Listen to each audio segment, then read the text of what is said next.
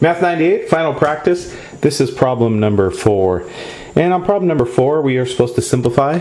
And the issue here is that we have a radical in the denominator.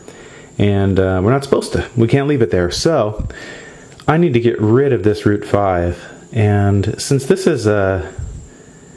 This isn't just root 5 down here. This is 2 minus root 5. I'm going to use its conjugate, 2 plus root 5, to get rid of it. And notice I'm just multiplying by 1 because 1 doesn't change the value of it.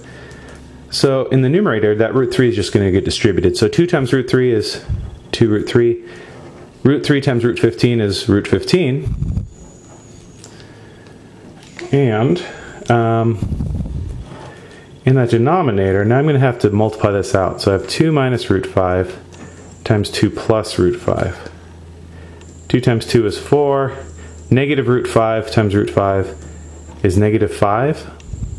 And then 2 root 5, negative 2 root 5, that cancels out. So that gives me a negative 1 in the denominator. So both these are divided by negative 1, so um, this becomes negative 2 root 3 minus root 15.